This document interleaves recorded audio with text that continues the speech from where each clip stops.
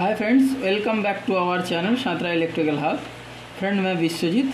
आज का जो टॉपिक है, एक एस एम पी एस कार है, जो सिंगल फ़ेज़ और डबल फ़ेज़ में चलता है, उसके बारे में। फ्रेंड देखिए, इसका जो मॉसपेट लगा है इधर, वो ख़राब था। तो इसके मॉसपेट को लगाने से पहले क्या चेक करना पड़ेगा?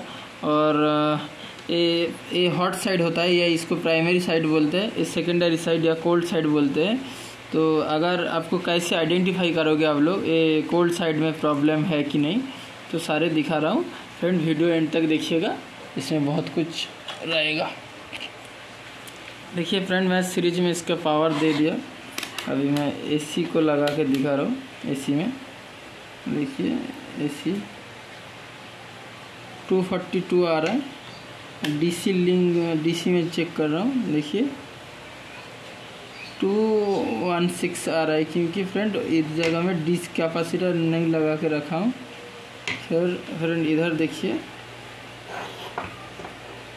इधर कैपेसिटर लगा है इसका क्रॉस में लगा रहा हूँ।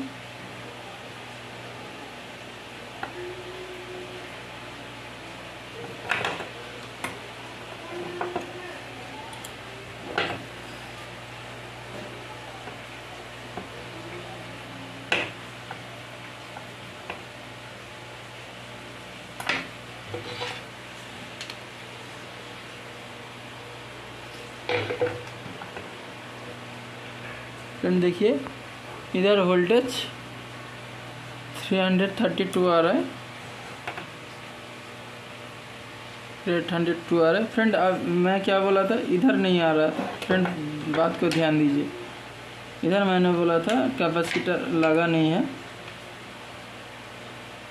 इधर देखिए, इधर डीसी में कम आ रहा है, इधर डीसी में ज़्यादा आ रहा है। क्योंकि फ्रेंड ये दोनों अलग अलग ब्रिज है। ये इधर एक ब्रिज लगा है, ये ब्रिज है। फ्रेंड इधर एक ब्रिज लगा है। तो ये क्या कर रहा है डीसी को आइसोलेट करके रखा सेपरेट करके रख रहा है। फ्रेंड ठीक है? इसलिए ऐसे हो रहा है। फ्रेंड आप लोग, उसके बाद आप लोग क्या करोगे? इधर जो ऑसिलेशन है फ्रेंड ये ऑसिलेशन आप लोगों को डीसी में चेक करना पड़ेगा। ठीक है? फ्रेंड देखिए, ये जो मॉसफेट लगा था ये गेट है, ये ड्रेन है, ये सोर्स है। तो हम लोग क्या करेंगे? सोर्स में नेगेटिव रखेंगे गेट में पॉजिटिव रखेंगे। देखिए फ्रेंड कोई वोल्टेज नहीं शो कर रहा है ना? फ्रेंड ये नोट करके रखिए। ये नोट करके रखिए ऐसे ही वोल्टेज आएगा। अगर ऐसे वोल्टेज आएगा तो ये चालू हो जाएगा। ये टू पॉइंट सेवन मैं इसको इधर जो कॉपलर लगा इसको थोड़ा शॉर्ट करके भी दिखा रहा हूँ। देखिए, मैं कैपेसिटर को डिस्चार्ज कर दिया। फ्रेंड ये बात ध्यान दीजिए, पहले जो हम लोग मॉसपेट डालेंगे तो कोल्ड साइड में अगर ख़राब है तो कोई दिक्कत नहीं। अब ये पाल्स आएगा। ये जो पाल्स है ना फ्रेंड्स ये आएगा। ये कोल्ड साइड में कोई दिक्कत नहीं। हॉट साइड में कुछ प्रॉब्लम होगा तो आएगा। फ्रेंड, ये जो ओपियम लगा है, ये ख़राब होगा। अगर ये बहुत तरह का ख़राब हो सकता है, अगर शॉर्ट नहीं होगा दूसरा एरोर एम्पलीफायर में प्रॉब्लम होगा, फिर भी ये सिग्नल जनरेट करेगा, ऑसिलेशन। बट ये जो ऐसी लगा है, इससे ख़राब होगा तो नहीं करेगा। और इधर जितना भी सेक्शन है, अगर ये ख़राब रहेगा ओपन करेगा, डैमेज रहेगा, कुछ रहेगा, फिर भी इधर सिग्नल जनरेट करेगा।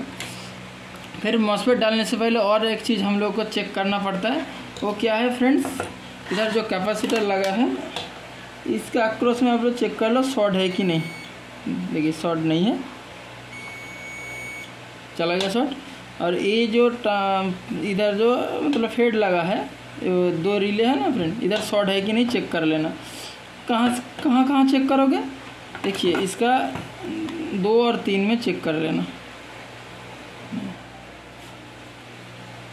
ठीक है चेक कर ले ये दोनों आके ये रिले को ऑपरेट करते हैं। और इधर देखिए ये ये channel isolation a of a voltage feedback के लिए। इधर इधर जो कपड़ा लगा है, जिसका जो एलईडी का नॉ नॉच किया है, ये इधर है। अगर इधर नॉच रहेगा तो इधर से लाइट इमिटिंग करेगा तो उसके बाद इधर एरर देगा। उसके हिसाब से मतलब कितना वोल्टेज हो रहा है कॉम्पेंसेशन फिट करेगा। उसके बाद इधर आउटपुट देगा। ये सेक्शन इधर के है। और इधर देखिए नॉच है, इधर एलईडी है ए एलईडी ब्लो करेगा। उसके हिसाब से ये दो रिले ऑपरेट करेगा। मतलब ये फेट वर्क करेगा, उसके हिसाब से ये दो रिले ऑपरेट करेगा। फ्रेंड मैंने देख लिया, ये डायोड शॉर्ट नहीं है, क्योंकि अगर डायोड शॉर्ट होता तो इस जगह में शॉर्ट दिखा था ठीक है फ्रेंड तो अभी मैं क्या करूँगा, ये इसको खोल के रखा हूँ। इसको खोल के रखा हूँ, आप लोगों को दिखाने के लिए एक चीज़। तो मैं अभी क्या कर रहा हूँ, अभी फेट को डाल रहा हूँ। मतलब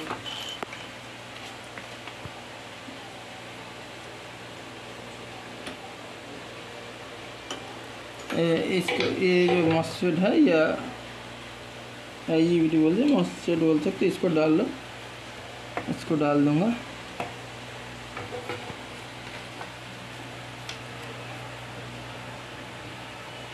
फ्रेंड इसका भी ड्राइंग बना रहा हूँ अगर इसका ड्राइंग कंप्लीट हो जाएगा तो मैं वीडियो डाल दूँगा तब देखने से आप लोगों को समझ में आ जाएगा कैसे वर्क कर रहा है पूरा सर्किट एक्सप्लेनेशन करूँगा आधा ड्राइंग हो गया आधा काम बाकी है फ्रेंड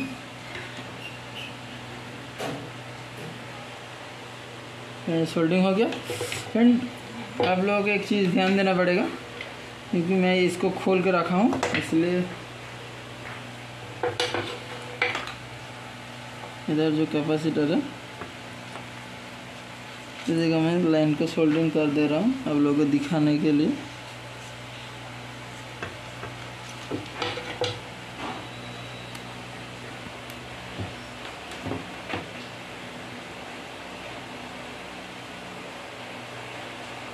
ये देखो फ्रेंड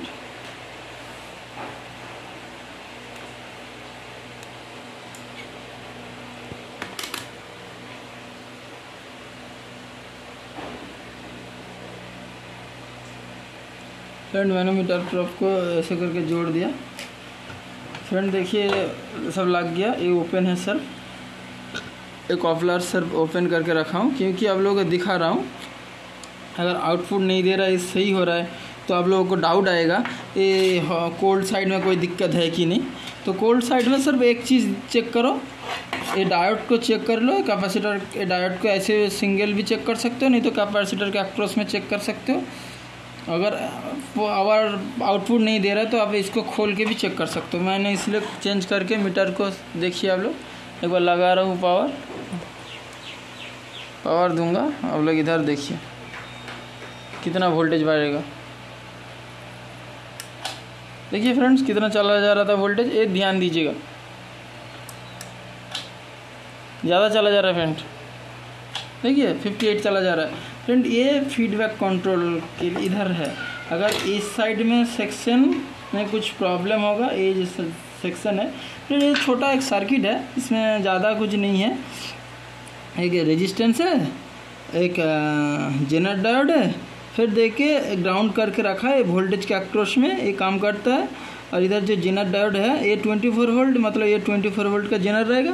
और लाइट कंटिन्यूसली ब्लो होता है, बंद हो जाता है, इसलिए इधर एक कैपेसिटर दिया रहता है। अगर कभी वोल्टेज फ्लैक्चुएशन करेगा, बढ़ रहा है, घट रहा है तो ये पी को चेक कीजिए आप लोग, ये ख़राब हो सकता है। ये बेसिकली ज़्यादा कुछ नहीं है, ये सिंपल एक छोटा एस एम सर्किट है। फ्रेंड्स अगर एस एम सर्किट कैसे काम करता है, वो समझ जाओ तो कोई प्रॉब्लम नहीं है। फ्रेंड अभी क्या करूँगा मैं? इसको खोल दे रहा हूँ। नहीं, इसको नहीं खोलेंगे डायरेक्ट लोगों को दिखाने के लिए। एक कपलर को डाल दे रहा हूँ।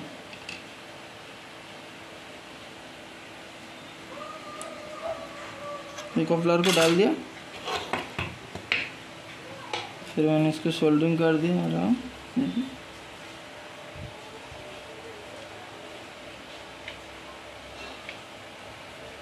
सोल्डरिंग कर दिया फ्रेंड और देखिए। ये फ्रंट पावर दूँगा, ट्वेंटी फोर वोल्ट आ जाएगा। ट्वेंटी फोर वोल्ट आ गया फ्रेंड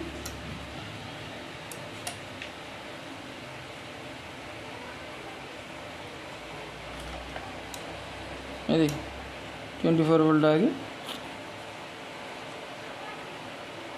आइए फ्रेंड आप लोगों को समझ में आ गया कैसे बेसिकली मतलब एक खराब आइडिया आ गया, कैसे चेक करना है। अगर आप लोग एक डेट कंडीशन में आया, आ रहा है तो कैसे चेक करना है? पहले आप लोग को ये कैपेसिटर के अक्रॉस में शॉर्ट है कि नहीं चेक करना है? उसके बाद ये मॉसफेट को खोल के पाल्स को चेक करना है। ये आईसी अगर ख़राब भी होगा तो भी आपका काम करेगा बट ये ख़राब होगा तो नहीं काम करेगा चेक करना है।